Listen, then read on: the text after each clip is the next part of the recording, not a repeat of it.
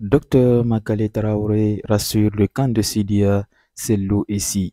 Nous sommes ouverts à porter toutes les revendications aux autorités.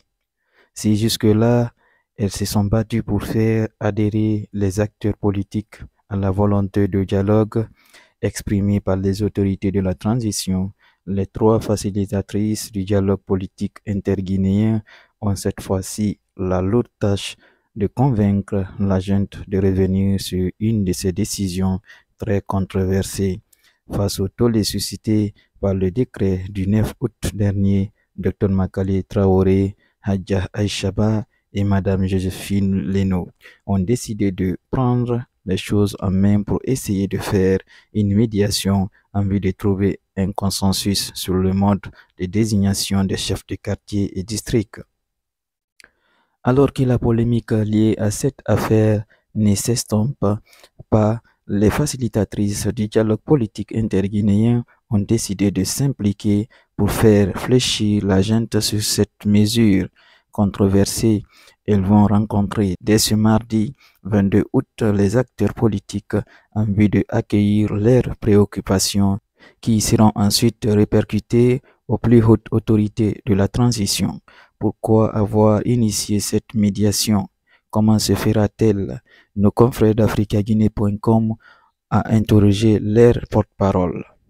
Face aux nombreuses réactions de désapprobation qu'a suscité la décision du colonel Mamadi Doumbouya de confier la nomination des chefs de quartier au gouverneur, qu'envisagent les facilitatrices? Dr Makale répond Le cadre de dialogue qui est permanent et ouvert est mieux indiqué également pour porter les préoccupations, voire les contributions ou propositions aux autorités pour qu'elles en tiennent compte. Quand on a constaté qu'il existe beaucoup de débats autour de cette question-là, nous penser dans le cadre du dialogue, les écouter, les acteurs politiques pour porter leurs préoccupations aux autorités. Ces rencontres vont commencer quel jour? Elles commenceront mardi 22 août et s'étendront jusqu'au samedi.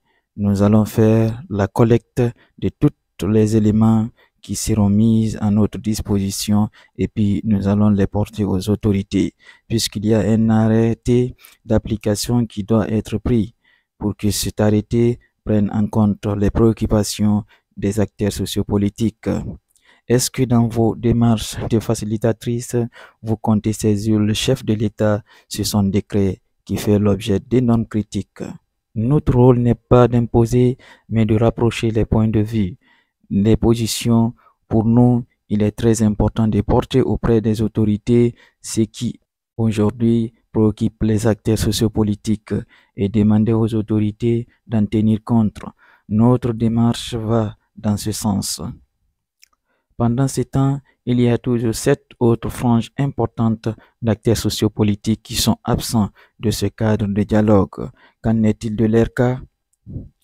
Nous leur disons de rejoindre la table de dialogue. D'ailleurs, nous continuons à les contacter, à leur écrire. Le cadre du dialogue est là pour tout le monde. Nous l'avons dit et répété à tout, à tout moment. Chacun peut rejoindre le cadre qui est aujourd'hui à la disposition de tous les acteurs sociopolitiques et nous sommes très ouverts à porter toutes les revendications qui se poseront à notre niveau. Le 6 août dernier, les acteurs sociopolitiques membres du cadre de dialogue ont décidé de fédérer autour d'une entité qu'ils ont nommée Conférence des coalitions politiques et fêtières de la société civile les leaders de cette entité veulent être impliqués de façon effective au processus en cours. Quelle analyse faites-vous de cette démarche? Notre position n'est pas juger les uns et les autres. La facilitation, c'est le rapprochement des points de vue, des positions, porter les préoccupations, etc. Maintenant, nous sommes en période de recomposition, de refondation. Donc, le débat est ouvert. On ne peut pas dire aujourd'hui que les gens ne peuvent pas se réunir, réfléchir. Nous, à notre niveau, à un moment donné, on a constaté un déficit de communication et nous avons travaillé là-dessus. Vous avez vu, le mois dernier, il y a une rencontre justement après le comité de pilotage. C'était une rencontre de restitution des travaux aux acteurs sociopolitiques pour qu'ils comprennent à quel niveau se trouve le RGPH. C'est ça notre rôle. Maintenant que les gens se réunissent pour discuter, mettre en place une plateforme pour mieux participer au processus de la transition, c'est des démarches normales. Cela ne nous dérange absolument pas et on n'a pas un jugement de valeur là-dessus.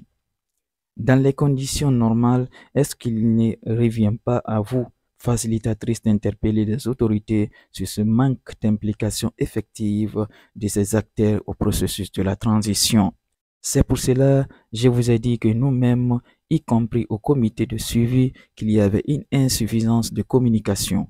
Nous avons travaillé dessus en alertant les autorités. Par la suite, le ministère de l'administration du territoire et de la décentralisation a organisé une rencontre avec les acteurs sociopolitiques et a fait le point et ils en sont sortis satisfaits.